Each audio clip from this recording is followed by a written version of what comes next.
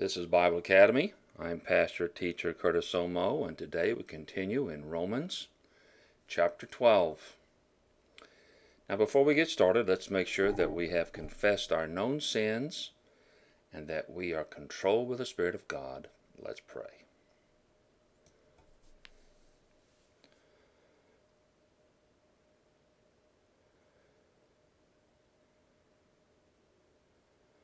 Heavenly Father, we thank you again for this opportunity that we have to study your word. We ask that our minds and hearts will be open to your truth, so we're ready to receive your word. In Jesus' name, amen. Romans chapter 12. Beginning in verse 1, Paul exhorted believers to offer their entire self over to God as a living sacrifice. This is addressed to each and every believer. And we saw that as the believer does this, he takes himself up to level two of the Christian life. Level one is becoming a Christian. Level two is getting to the point where you're fully dedicating yourself over to God. This is giving of oneself entirely over to God mind, and body, so that one can be transformed to be what God wants him to be. This comes primarily by making the deliberate decision to stop conforming to the world and its ways and to become transformed by the renewing of the mind. The renewing of the mind comes primarily by learning and applying the Word of God. This is also how we know what God's will is. We learn the Word, we think the Word, we know God's thoughts of the matter, and then we obey them. Now, in verse 3, we saw Paul's warning for us to not get haughty about our spiritual gifts. Now, he hasn't even been to the Roman church yet, but that's something he's probably observed in the church at Corinth and he wants to bring that up to the Romans before he gets there. To think oneself haughty is to view one better than another because of the spiritual gift or gifts that you have. And this is the subject at this point. We're into the level of uh, level three at this point. We're moving from dedicating ourselves to God to growing to the point where we can use our spiritual gifts. So Paul precedes some of these principles on spiritual gifts with the warning not to get high minded about your gifts. Now, if you just kind of can set yourself back in the situation, for example, in Corinth, you are among others who've only been saved a couple of years, and you see these miraculous manifestations among the church body. Uh, there's a healing, there's a miracle, uh, there's a foreign language being spoken by someone who's never spoken a foreign language in their life, and then someone interprets it. Someone provides some prophecy. Uh, someone else does some prophecy, another tongue, and this goes on perhaps for a couple hours. Well, this is an exciting setting, to say the least. But at the same time, it should humble one to realize that God is doing this that it's not by your own power, and certainly it's not your natural gift that is doing this, but it is God doing it through you. Now, we saw some of the principles last time regarding spiritual gifts. We saw that the smooth operation of gifts in the body of Christ works with basically three principles. The first principle was that in the body there is diversity. Diversity. All members do not have the same function. And that's important to remember, especially if you think you've developed your gift well and uh, you may want to impose the way you do things on people. But remember, they may not be gifted the same way. All members do not have the same function. The first principle we actually looked at, I got them out of order here, is unity. Unity. Every believer has a place and a purpose in the body of Christ. And this in itself should help keep one humble about his own gift. And Paul uses that analogy more than once of the human body. All the parts serve a function. Every member has a place. All right? Now, you may be an arm, and you say, well, I'm kind of important, especially if I'm the right arm, and you consider it a right-handed body. The left arm says, yeah, but I'm important too because there's a lot you can't do without me. And that's absolutely true. But on the other hand, maybe he's left-handed. But anyway, the point is that every believer has a place and a purpose in the body of Christ, the church. The third principle was mutuality. Probably a word you haven't heard much, but basically that's saying we're all members of one body in Christ and individually members one of another.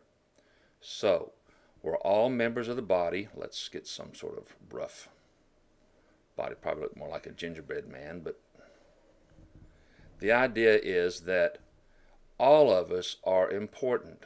Every part of the body. Without the body, we don't function well. As I use an analogy of a team, you take off a team member or maybe a couple of team members, what are you going to do? What are you going to do? You're limited, right? You can't play the ball game without a couple of members. So let's keep in mind, first of all, unity, diversity, and mutuality. Now, in verse 6, Paul continues to write about the gifts,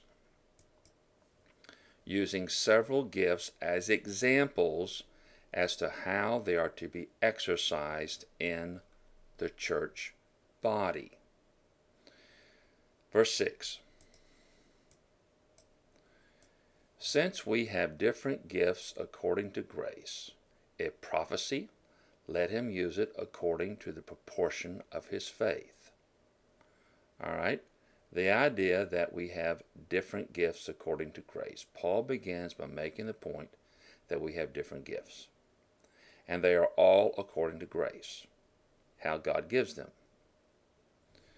Over the years, I've heard a lot of teaching on these things, and some of it can be misleading.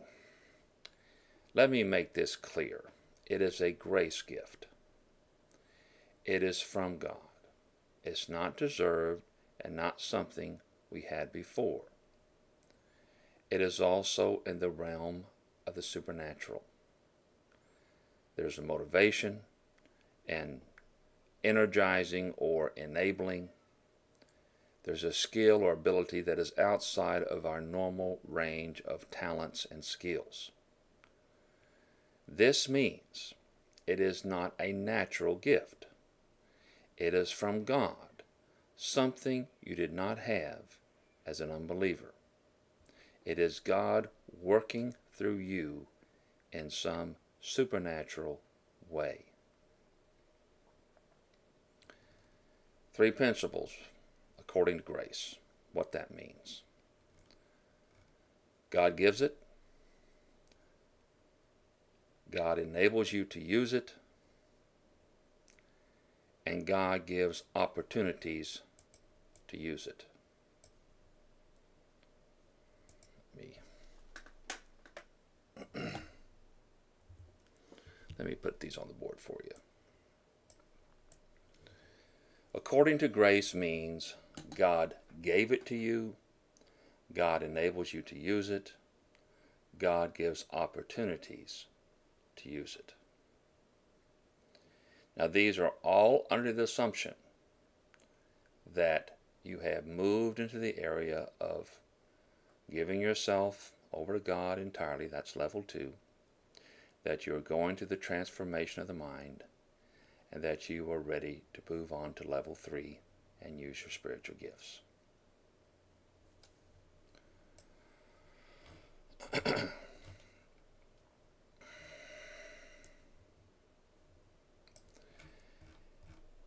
Let me say this.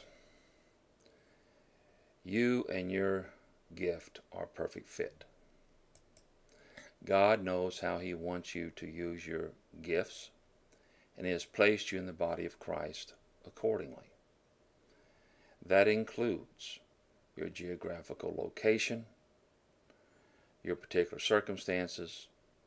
It may mean working a full time job, it may be part time, or maybe you're in some sort of ministry. But He has put you where you can best benefit the body of Christ. Now, that in itself is a humbling thought. You may not be in a place where there's a lot of people. You may be in a place where there's a lot of people, but very few are responding to truth. That is pretty common today. Uh, a lot of people around you, but few are interested in truth. The world has pretty much got them all caught up into what it wants them to do. Well, let's begin to look at some of the gifts here as we move into our passage. The first gift mentioned is prophecy. Paul writes, if prophecy. Now, prophecy is one of the few gifts we really know something about. It is mentioned several times in the New Testament. It has guidelines and it's pictured in action. Now, of course, prophecy is also not new to the church. That is, we have many Old Testament prophets as well as prophecies. However, we're going to see that New Testament prophet is different than the Old Testament prophet. Let's talk about the gift of prophecy under several points. Point 1. The gift of prophecy in the New Testament centered mostly within the local church and body of Christ. By that I mean this is where it primarily operated. In the Old Testament, the gift was used toward the nation of Israel, its kings, but occasionally a prophet would speak to other peoples like Jonah. So it had somewhat of a evangelistic function.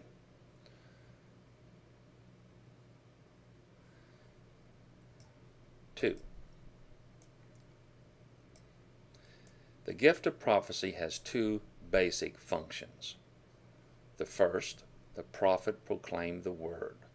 1 Corinthians 14:3, 24 through 25, and verse 31. The second, the prophet predicted what would happen with the word. In other words, he did prophets, prophecy.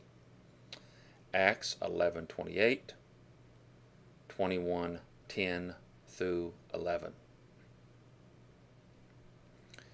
Let's talk about the second part in point 3. Predictive messages would involve receiving new and special revelation from God, whereas proclamation that's the first use of it, would either be known or could include new revelation. 1 Corinthians 14 29 through 31. It was revelatory, it was a revelatory gift, and that the prophet received revelation from God. Let me chart this out a little bit just to make it as clear as I can. The gift of new Testament prophet. Now, we're not talking about the Old Testament now, and this is not to say that this wasn't true of the Old Testament prophet also. But the New Testament prophet, his gift functioned in the area of proclamation and let's just say prediction to make it sound good. Proclamations basically, you might call it preaching exhortation, telling people what the word says. All right? This would be the benefit to the benefit of the edification of the body of Christ. It might include warning, it might include just comfort, uh, it might include uh, what God wants done in a particular situation. It might include some counsel to an individual. All right? But generally, it was to the local church. Prediction, well, we're familiar with that one, perhaps most familiar with the prophet predicted things that were going to happen in the future. This is certainly uh, seen many times in the exercise of prophecy with the Old Testament saints. Uh, the Old Testament gift of prophecy. Now, those scripture references, you might want to look those up. Let me put them on the board one more time. Prophet who proclaimed the word, 1 Corinthians 14 3, 24 through 25, and verse 31. And then we see the prophet in action, predicting. This is Agabus in particular. Acts 11, 28, 21, 21, 10, and 11. Now, again, prediction, proclamation would be basically saying what one already knows, or maybe what the people know, or what's what they've received in the Word. So it's basically not new revelation. Now, on the other hand, let me let me let me retract that because I want to make sure we got this sorted out right. Proclamation can be new revelation. It's just that it's not predictive. That's what I'm trying to say but it doesn't have to be new revelation. Let's put it this way old or new revelation. Prediction, well, that would likely be new revelation. You can piece this together in your own mind, understanding what I'm saying here. But the prophet could bring in new revelation. That's why it's called a revelatory, let's see if I spell this right, a revelatory gift he provided revelation. It might be new, it might not be new if he's just proclaiming it, or it could be perhaps an old prediction, but still, he also predicted things. So let's be flexible with that usage of the term New Testament prophet. As a revelatory gift, and the prophet received revelation from God. All right? uh, interesting passage to look at is 1 Corinthians 14, uh, 29 through 31. Okay? Now, 4. This is an interesting one too. However, the teachings of the prophet were not to go unchecked. Other prophets were to, I use the quote unquote, compare notes so to speak, to assure that what he said was within the range of sound doctrine. 1 Corinthians 14 29 through 33. How did this happen? How did this work? Well, we get a couple of passages that help us understand this. Point 5. The Spirit of God would move within them and reveal to them what they were to say or write. 1 Corinthians 14:30, 1 Peter 1:10 through 12. Now, we don't have new revelation coming to us today, and we don't have the New Testament gift of prophecy today. It's not needed. We have everything we need until we move into the next phase of God's plan. But what we should understand is that God revealed truth to the prophet in a special way. That's part of having the gift of prophecy. 1 Corinthians 14:30, 1 Peter 1:10 through 12. Now, in relation to other gifts in the church at that time, point 6.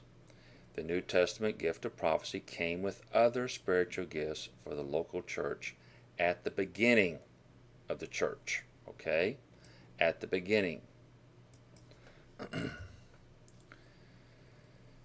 Point seven helps explain. I'm going to have to go to a new, bigger page here. This was part of the New Covenant program instituted on the day of Pentecost with indwelling Holy Spirit. Acts 2 17 and 18. In the last days, God says, I will pour out my Spirit on all people. Your sons and daughters will prophesy.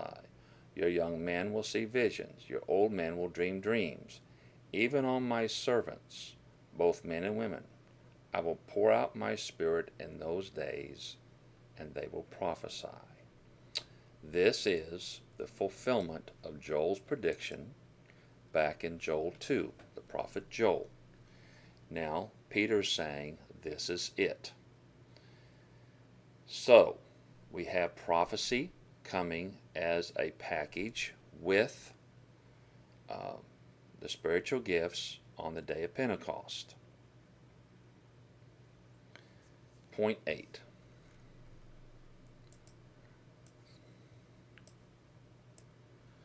This gift would serve an important role in the early church. New covenant teachings would come into the church from these prophets, as well as helpful warnings and predictions for the church or individuals. We have an example with Acts 11:27. Now at this time some prophets came down from Jerusalem to Antioch. One of them named Agabus stood up and began to indicate by the Spirit that there would certainly be a great famine all over the world, and this would take place in the reign of Claudius. And in the proportion that any of the disciples had means, each of them determined to send a contribution for the relief of the brethren living in Judea. And this they did, sending it in charge of Barnabas and Saul to the elders. Now, this group of what four verses is very telling. It tells us that one of the purposes of the prophets in the New Testament was to warn the church body of something that was coming, in this case a famine, and they were to get ready for it. And the way they took uh, got ready for it was to take up what they could among those who had means and send it to those who would suffer as a result of this famine. And you see, God provides for his people through his people. Now, this is an important thing when it comes to the function of the church body. Uh, if they were not to help these people, they would suffer. And you don't want members of the body of Christ to suffer needlessly. And it's also an opportunity to give, it's an opportunity to share, it's an opportunity to serve and minister to other believers. Then they send it they sent it to them with Barnabas and Saul, to the elders, took it to elders so the elders could have it distributed properly, you see. So this works out beautifully. Uh, we see the gift in action again. Agabus, in fact, again in Acts 21. 10 and 11. I put 14, but 10 and 11 is fine. As we were staying there for some days, a prophet named Agabus came down from Judea. And coming to us, he took Paul's belt and bound his own feet and hands and said, This is what the Holy Spirit says.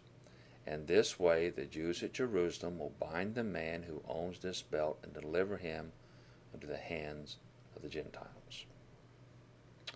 So, Agabus, the New Testament prophet, warned Paul here's what's going to happen to you when you go there.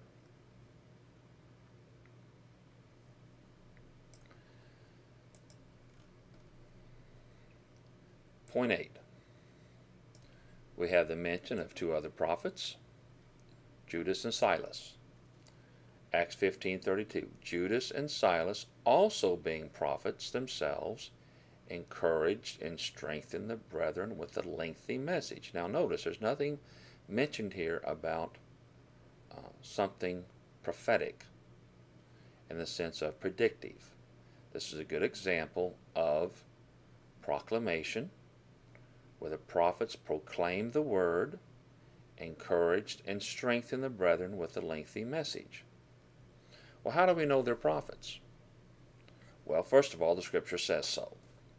Perhaps they had shown some predictive uh, messages earlier, had done some predictive messages earlier. But the point is, we see that Judas and Silas also shared that particular gift, or had that gift. Well, this may surprise you. Point 9. The women who had this gift were called prophetesses, only mentioned once in the New Testament. On the next day we left and came to Caesarea, and entering the house of Philip the evangelist, who was one of the seven, we stayed with him, and this man had four virgin daughters who were prophetesses. uh, stretch that a little bit. Prophetesses. Now, how do they function? In the local church or not? It doesn't say. Were they outside the church and doing some things like Agabus? It doesn't say. All we're told is that even some of the females were giving this gift, and it is a revelatory gift, and it carried some authority. Now, these are the daughters of Philip the evangelist. There's nothing said about what they prophesied, to whom, or how, but they did have the gift. This is one of those passages where you have to be careful and not make something out of it that it doesn't say. Point 10. The use of the gift of prophecy within the church assembly. Here we have an example of it. Pursue love, yet desire earnestly spiritual gifts, especially that you as a church may prophesy. This was such a valuable gift for obvious reasons. It proclaimed revelation, sometimes new revelation, and sometimes new predictive revelation. But it was a valued gift in the church. You would expect that when a prophet stood up to speak, that, you know, you could hear a pin drop. Because he would have something valuable for the congregation. Point 11, one that needs to be understood within the framework of the other gifts, particularly the gift of tongues in those days. The gift stood on its own. The gift of prophecy stood on its own. It required no interpreter like the gift of tongues. Now, this is also with understanding that there were other prophets that helped make sure this particular prophecy that was said was kept in line. 1 Corinthians 14 2 and following. For the one speaking in a tongue does not speak to men, but to God. For no one hears. He is speaking mysteries by the Spirit. Here, Paul is comparing these two gifts and the problem that this leads to if not used properly. That is, the problem with the gift of tongues. There should be someone there to interpret Verse 3 But he who prophesies speaks to men for edification, encouragement, and comfort. You see, the gift of prophecy stands on its own, it doesn't need an interpreter. 4. He who speaks the tongue edifies himself, but he who prophesies edifies the church. And that's what you want. That's your goal. Remember verse 1? Pursue love, yet desire earnestly spiritual gifts, especially that you as a church may prophesy. Well, this is what Paul's talking about. It's, it edifies the entire church. Then he goes into tongues thing. Verse 5 I wish you all spoke in tongues, but even more than you would prophesy. He's talking to them as a church. Would prophesy. That's in the plural. That you, plural, would prophesy. But greater is he who prophesies than he who speaks in a tongue, unless he interprets. You see, uh, interpretation of a tongue would be revelation to the church, so that the church may receive edification. But now, brethren, if I come to you speaking in tongues, what will I benefit you unless I speak to you either by way of revelation, or of knowledge, or of prophecy, or of teaching?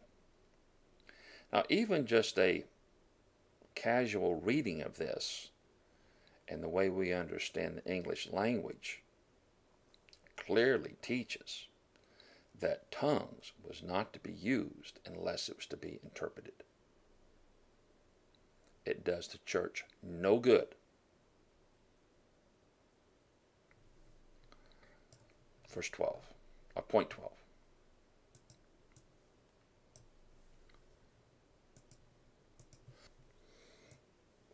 The gift of prophecy was the second highest gift in the local church next to apostle. And in the church, God has appointed first of all apostles, second prophets, third teachers. Then miracles, gifts of healings, helps, gifts of leadership, different kinds of tongues. Now, the structure here of the language is really pretty clear. Paul ranks the first three gifts in importance.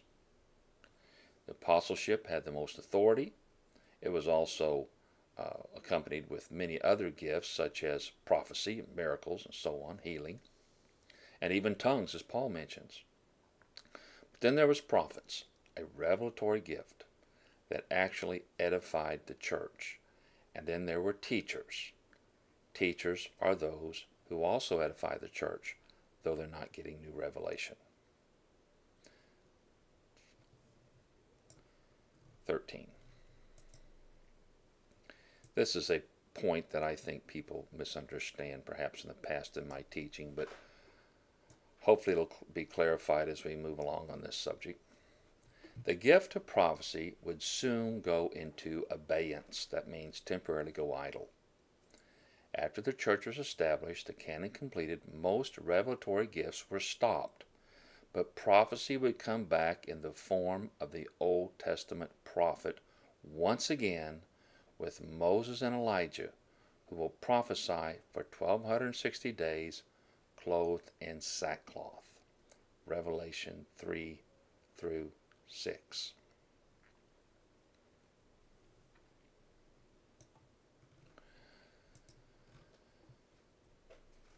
Let's continue with Romans 12:6 as we begin to look at the second part of this exhortation by Paul.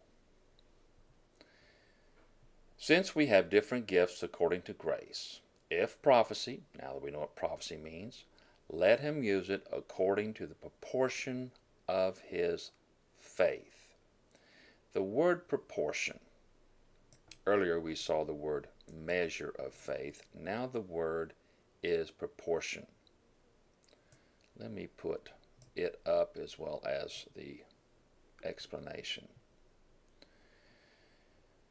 Analogia, you can see analytics, okay, logic in this. It's a mathematical or logical term, or logic term. Like you would have the right proportions in a building structure. In our use, it means right proportion. Now, this is similar to the measure of faith we saw back in verse 3. But now in verse 6, we are told, according to the proportion of your faith, use your spiritual gift. I see this term as more precise than just measure. It's like we got the measuring cup and, and now this time we've got marks on it so you know exactly how much we have. Use your gift with precision in the local church. You know the boundaries of your gift, and they're marked by your faith, what you know of the Word, what you believe of the Word. This helps keep your gift and you in the right relationship with the body of Christ. And when I say and you, I mean keeps your attitude in line also. You don't get arrogant about it. So your faith helps guard you using your gift properly. Now, this is pertaining to the gift of prophecy, but I see no reason that it wouldn't work with other spiritual gifts also, particularly things like teaching. One has to be careful how he uses it, and we'll talk about that later. The idea is that you use your gift with precision in the local church. Your boundaries are your faith. Your faith helps keep your gift, you, in the right, relationship with the body of Christ and, of course, your own attitude.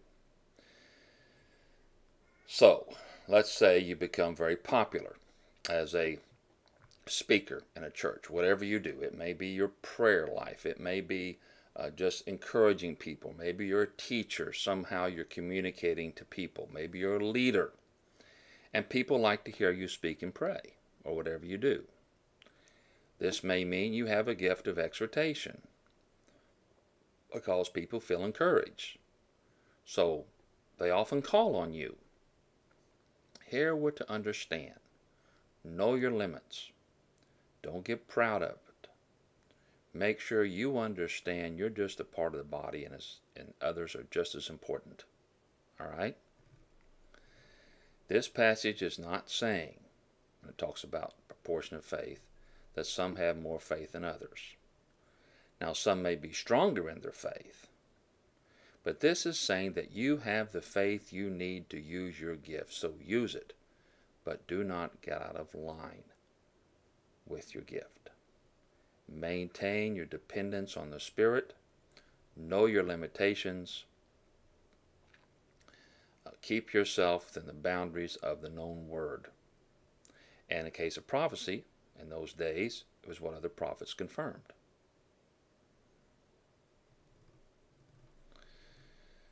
Very easy, as I, I'm almost afraid to say, to misuse gifts like prophecy.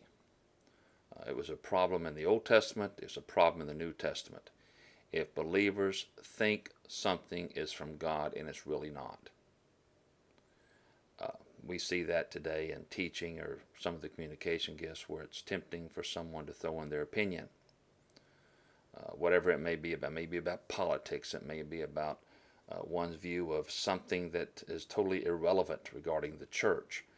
But it's important that we make sure we distinguish between opinion and what the Word says. The gift is to be used to edify the church, and like the other gifts, it must be used with love. Point of advice don't sit on your gifts. If you have an important gift, especially in those days of prophecy, for example, a revelatory gift, can you imagine not giving the body of Christ something that God has for them? So they were to prophesy if those gifts were there. They weren't supposed to be kept under wraps. It may be something vital to the church. What if there was a famine coming and the prophet decided he wasn't going to say anything? You see, it was under his control. So, the point is, you use it with your faith. Your faith helps you use it properly. Of course, this would be true of all spiritual gifts. There's a lot of information here in this short verse, and something that is helpful to us even today in the use of speaking and communication gifts. Verse 7.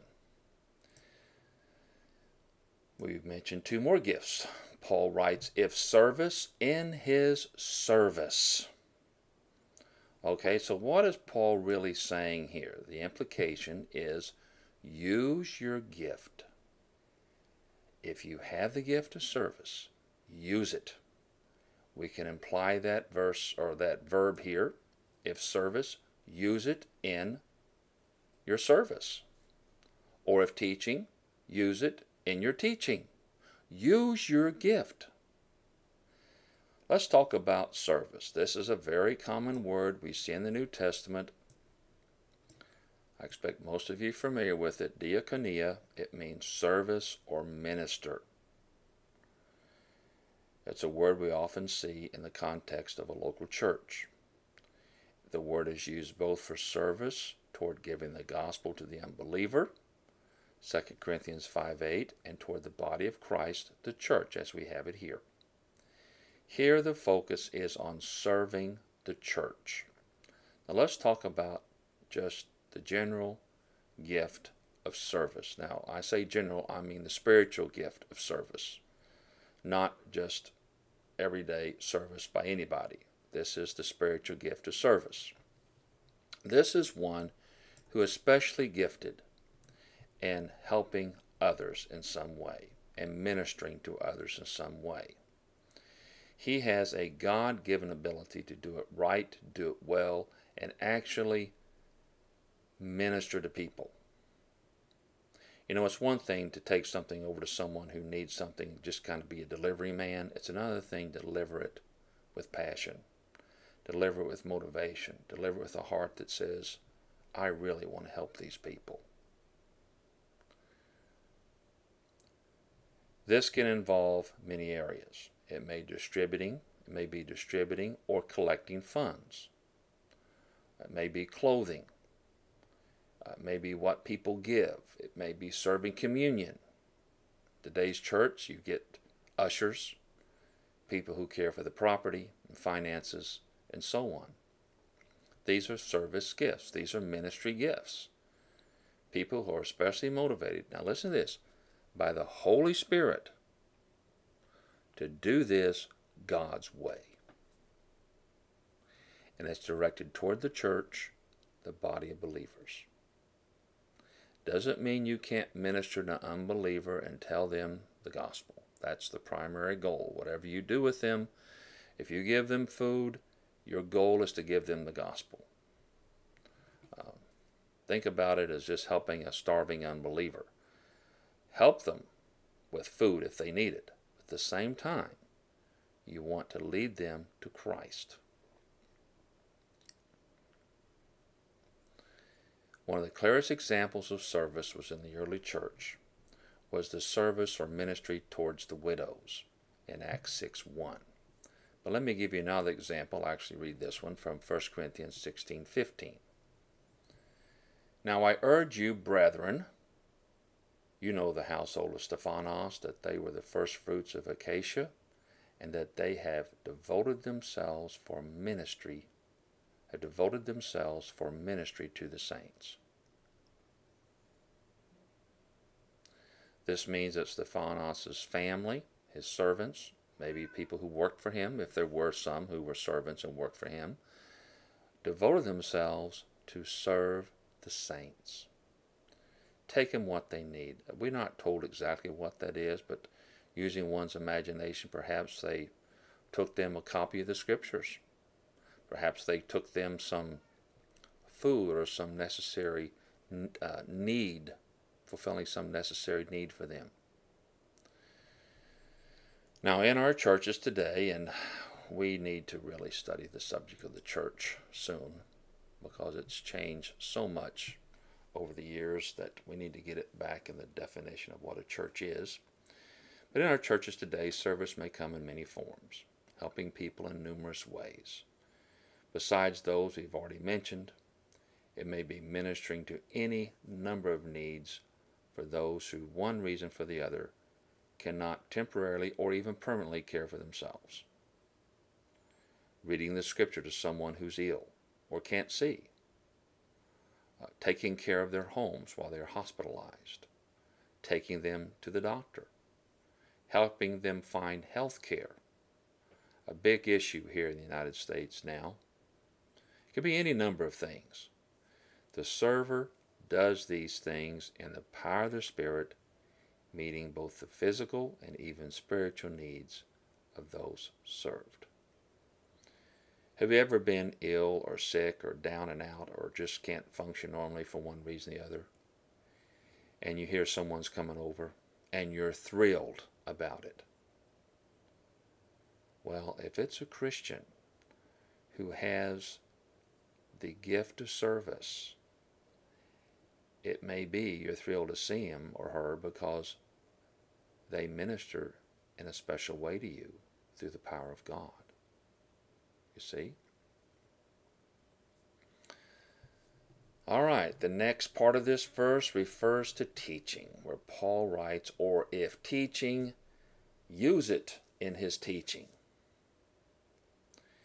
Teaching is one of the most and most important gifts and main gifts in the church today. 1 Corinthians 12:28. Remember it was ranked after apostleship and prophets.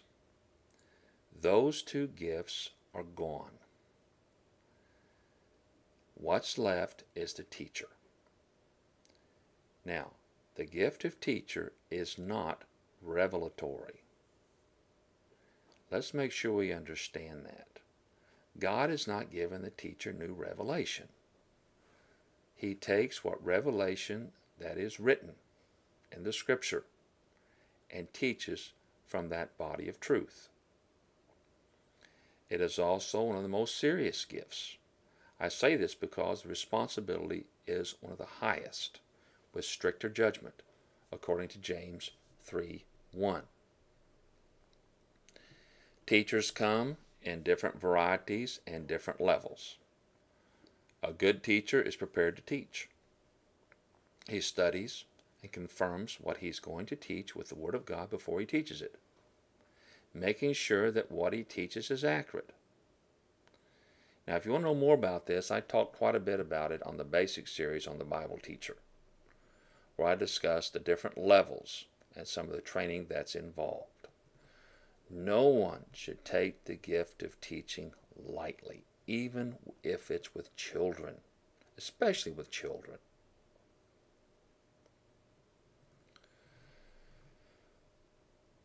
Point 8, excuse me, verse 8, we come to some more gifts. Let's read the whole verse. If exhortation in his exhorting, he who contributes with integrity, he who leads with diligence, he who shows mercy with cheerfulness. Let's talk about if exhortation in his exhorting. The word for exhortation, actually the verb, parakaleo, it means basically to call alongside. We get the definition of exhort or encourage, implore, or comfort. That's a pretty good range. Now we saw this exhortation earlier when Paul introduced this particular passage we learned that it was something that is saying something about something that has already been taught. It's trying to get someone to do what they've already been taught. But an exhorter may also be someone who encourages with words and actions. You've heard people probably say he always so he's always so encouraging when he speaks.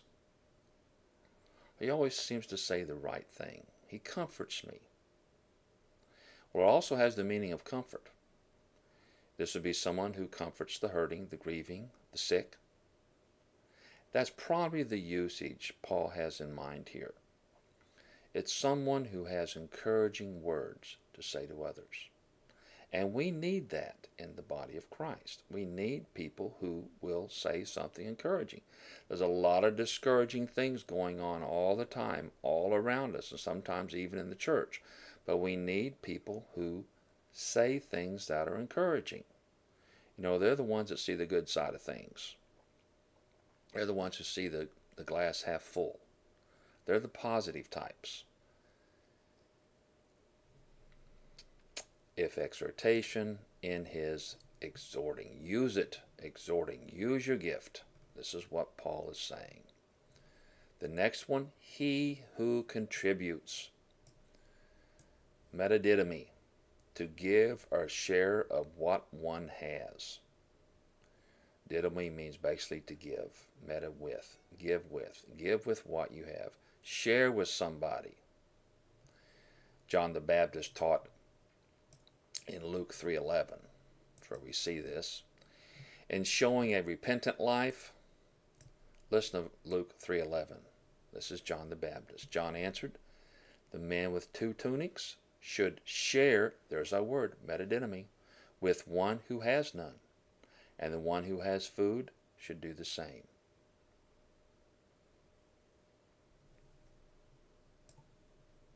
Now, John the Apostle wrote, 1 John 3 17 and 18. But whoever has the world's goods and see his brother in need and closes his heart against him, how does the love of God abide in him? Little children, let us not love with word or with tongue, but in deed and truth.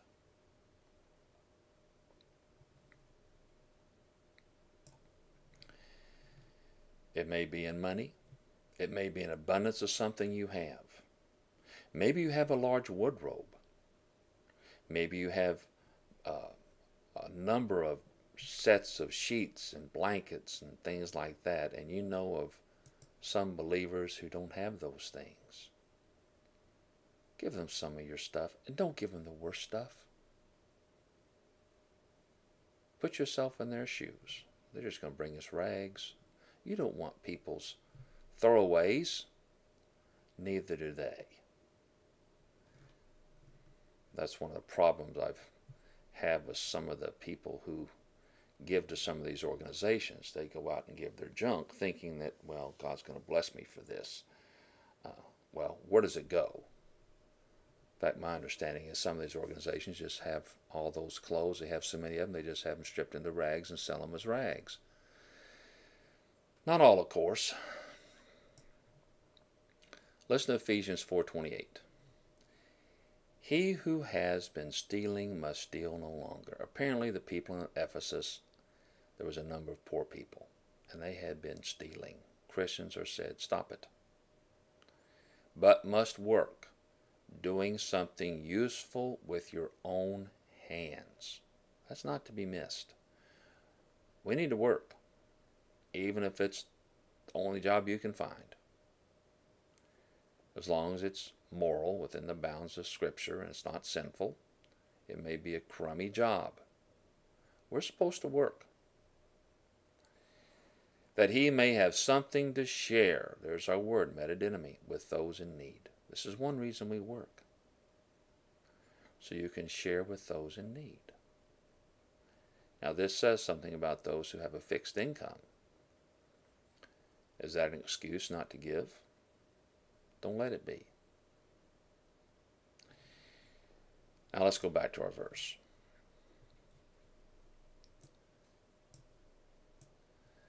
If exhortation and is exhorting, he who contributes with integrity. The word integrity is an important part of the mental honesty that one should have when he contributes. The word is hoplotes. Let's see if I can get it up here. Hoplotes. Hoplates, actually. It means a mental honesty, an uprightness.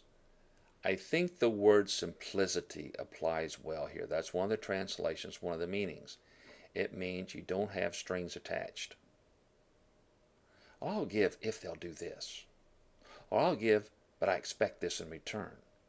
That's not the kind of giving that Christians give. That's not giving motivated by the power of the Spirit and the Spirit of grace. It's not self seeking, it's not hypocritical.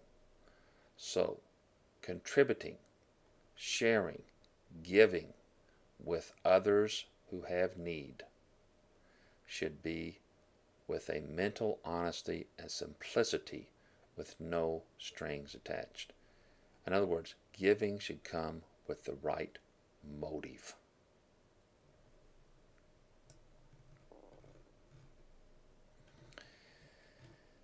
The next part of this verse refers to leading, leadership. Proistemi, it means literally to stand over, to preside. Paul uses this word for the leader, the elder, the pastor of the church. All right, the exhortation, he who leads. Let's define leader a little bit more. Look at First Thessalonians 5:12. But request of you, brethren, that you appreciate those who diligently labor among you and have charge over you. Same word. Proistemi. Who have charge over you in the Lord and give you instruction. 1 Timothy 5:17. The elders who rule, same word, well are to be considered worthy of double honor, especially those who work hard at preaching and teaching. Okay? Leading should be done with diligence, persistent, work hard at it. It's not just telling people what to do. You think through what you're doing, what you're saying, how you're leading, why you do what you do. You carefully make decisions and you work hard at it. you really thought this thing over. Maybe you've analyzed it, you put it on a board, how you're going to organize it, how you're going to say it, and how you're going to present it. You see.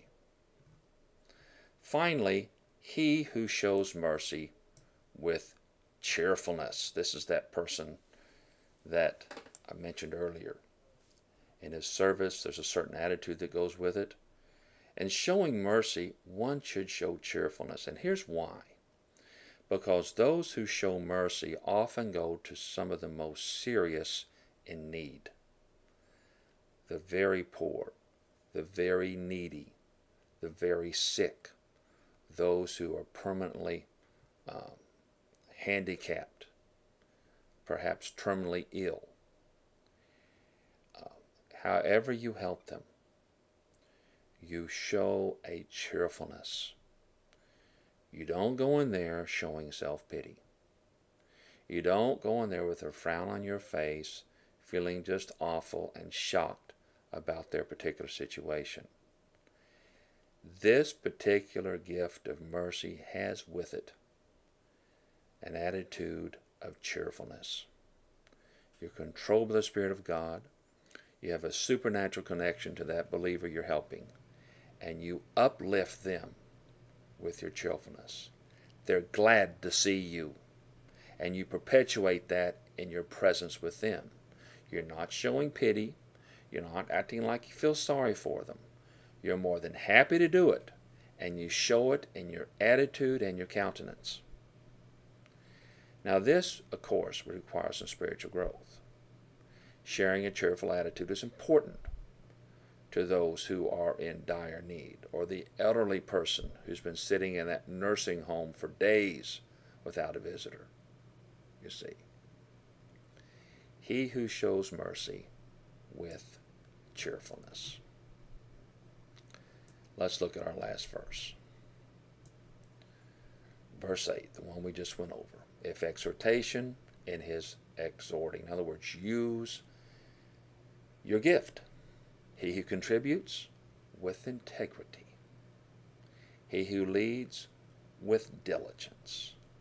He who shows mercy with cheerfulness. Well, we'll continue at this point next time. Let's pray. Well, Heavenly Father, this has been a challenging set of verses for us, those of us who need to move to that level three and use our gifts. May we learn from the principles of these gifts that Paul has cited how to use our own gifts. First of all, to use them with the right attitude, with the control of the Spirit, in the spirit of cheerfulness when necessary. We ask that you will help us apply these things in the power of your Spirit. In Jesus' name, amen.